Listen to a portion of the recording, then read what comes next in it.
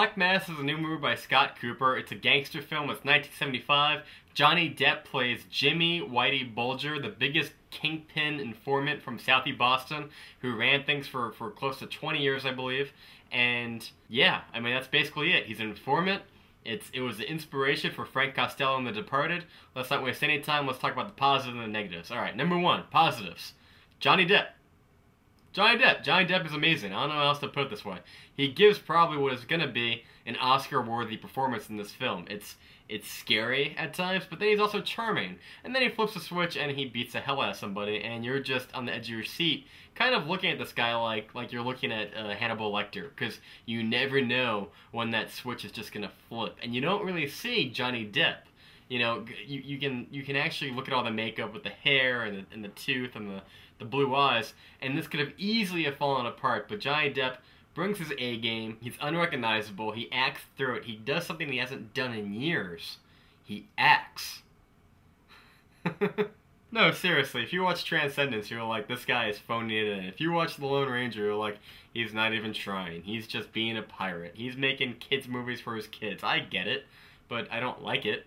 This movie, he goes back to Donnie Brasco and Blow and different type of dramas where he's actually digging deep and he's pulling something out, and it could be an Oscar. We'll see. But um, it is the de definitely hands down the best part about this film because the problem I have with this film is even though we have Johnny Depp and a great cast, um, Joel Edgerton, um, Benedict Cumberbatch, um, Kevin Bacon. They all give great performances in this movie, and it really rounds it out to make it a nice ensemble piece.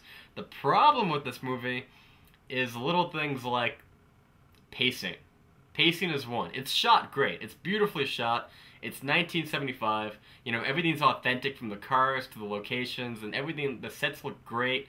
You know, the, the way it's directed, the shot, the wide shots and, and the pans, everything is done really well, but the pacing is slow the story is a little bit shallow when it comes to actually having any heart to it. It's kind of just empty. You know, it's it's it's there's tons of these interviews that inter, intertwine the whole movie, and you could tell what they did is that they took all of the interrogations from you know current day or around the trial time, and they use that as the inspiration for the movie. The problem with that is that it's all as a matter of fact. You don't have a a core heart to the film. You're not really backing any protagonist, you're not really rooting for or against anybody. You're really just watching these events unfold. So when people die, you really don't care. When people are in trouble, you don't care. It's kind of just like, well, uh, okay, he's he's a bad guy, and that was a bad guy, and they're all bad guys.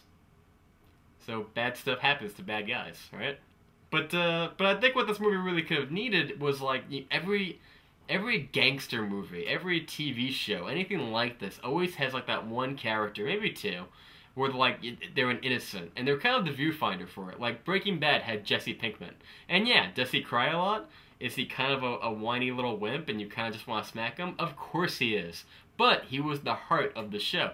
This had none of that. So like when bad things happen to these people who kind of had it coming, you're like, well, yeah, and don't get me wrong, um, they could have done more with it. There were some characters that could have very easily have been, you know, the viewfinder. Like he does have a girlfriend slash baby mama, and this person could have been the person that kind of brought an emotional chord to it, but not really. There's no love interest in this movie at all.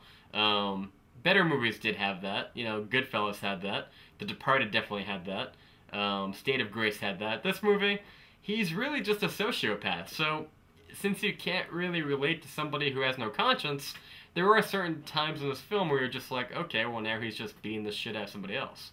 Which is interesting, but a lot of times you kind of feel like you want the movie to do more than it actually does. This movie could have been an ultimate, you know, classic with the likes of Scarface and Goodfellas and The Departed, and it just falls a little bit flat of that. With that said though, I love the movie. Thought Johnny Depp was great. I thought Joel Edgerton is continuing to be a great actor. I thought he was great in The Gift and, and almost as good in this. Um, uh, Benedict Cumberbatch, always amazing, even though he was a little bit underplayed and he was trying really hard to do an American accent and he kind of sounded like JFK a little bit. Um, but like I said, it's a it's a very cliched gangster movie and there's nothing overly original about it.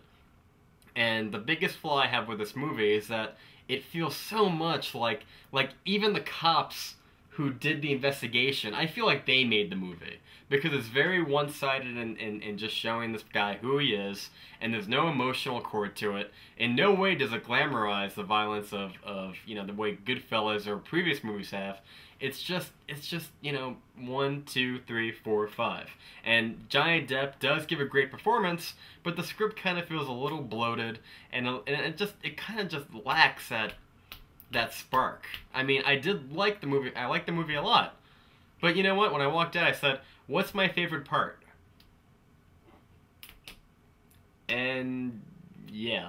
um, I would definitely redbox this movie. I thought it was a lot of fun the first time around. I'm not rushing out to go see it again, but check it out. I think you might definitely enjoy it if you like Johnny Depp's earlier films. If you like gangster films, you gotta love gangster films. If you don't like gangster films, you're probably not gonna like this at all because it's, it's not for everybody. It really is for like the genre people who love these type of genre films: American Hustle, The Departed, Goodfellas. So go check it out. I give this movie a B. Anyway, guys, let me know what you thought about it, and be sure to comment down below. And as always, thank you so much for watching because you just got burned.